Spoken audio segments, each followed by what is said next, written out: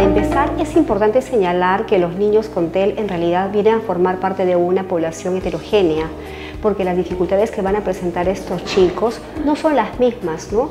Algunos tendrán problemas más a nivel comprensivo, otros tendrán dificultades a nivel expresivo o la combinación de estas. Algunas características, por ejemplo, para poder este, conocer es que algunos de ellos van a tener dificultades en la formulación de oraciones. Esto quiere decir, por ejemplo, que van a poder organizar de manera inadecuada las oraciones, pueden alterar el orden de los elementos omitir algunos elementos importantes como los artículos, las preposiciones, los adverbios, haciendo que las oraciones que puedan ellos expresar no sean comprensibles para los demás.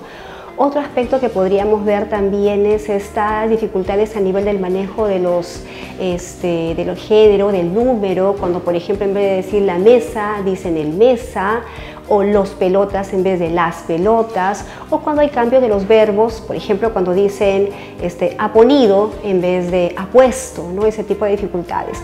También podemos tener niños que van a tener alteración a nivel del uso de los sonidos, cuando omiten algunos sonidos de las palabras, por ejemplo, en vez de decir helicóptero, pueden decir helicóteo, eh, y donde se va viendo esta diferencia de los sonidos. ¿no?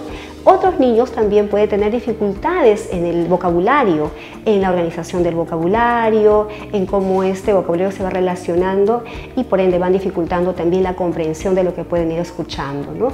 Pero acá siempre es importante ir considerando sobre la edad en la que están, porque puede ser que algunos por edad puedan presentar este tipo de características, pero estas dificultades en estos chicos con TEL ya no van a formar parte de su edad, o sea, no deberían estar presentes a ciertas edades, sin embargo ellos los están presentando. También podemos hablar de niños con dificultades a nivel de la conversación, que cuando uno conversa con ellos eh, responden una cosa por otra, no son contingentes a lo que uno les está diciendo, o también cuando tienen dificultades para poder contar sus experiencias personales, los cuentos, porque se enredan un poco en sus ideas y cuando uno les escucha es como, como que qué dijeron, entonces como que tenemos que hacer una organización de lo que han dicho para poder comprenderlos. ¿no?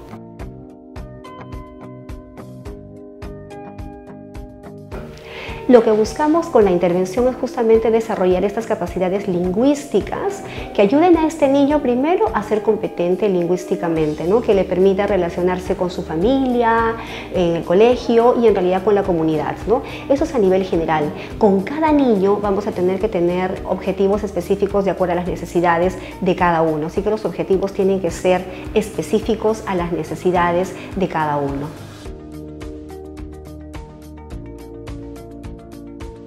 Tenemos que partir siempre inicialmente de una buena evaluación que nos permita tener un perfil adecuado de estas dificultades. Podemos identificar fortalezas como las debilidades que puedan tener estos niños y aunado con un adecuado razonamiento clínico vamos a, hacer, vamos a establecer un adecuado este, plan de trabajo ¿no? para poder trabajar de acuerdo a las necesidades que van teniendo estos niños.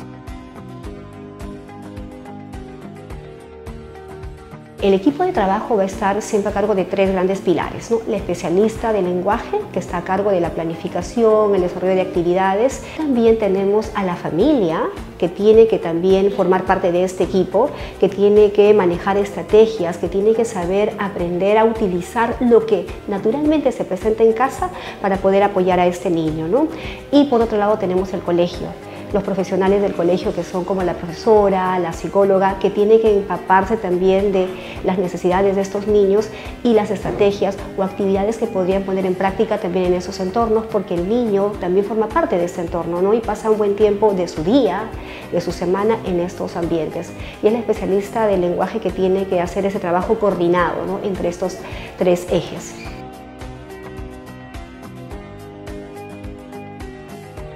Tenemos algunas pautas importantes como por ejemplo algo básico es siempre situarnos a la altura del niño.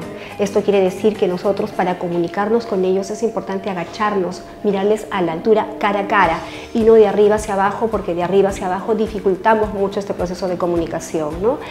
Otra cosa importante también es hablar lento pausado, con oraciones claras. ¿Y esto para qué? Para favorecer la comprensión de estos niños. Porque si hablamos demasiado rápido o hablamos oraciones súper largas, los niños van a captar no toda la oración que les hemos dicho, sino parte de lo que le hemos dicho y por ende va a comprender este mal y va a ejecutar mal lo que le estamos pidiendo. ¿no? Eh, esto siempre viendo el grado de avance que va teniendo el niño porque vamos a tener que ir caminando con él ayudándolo a que pueda desarrollar más.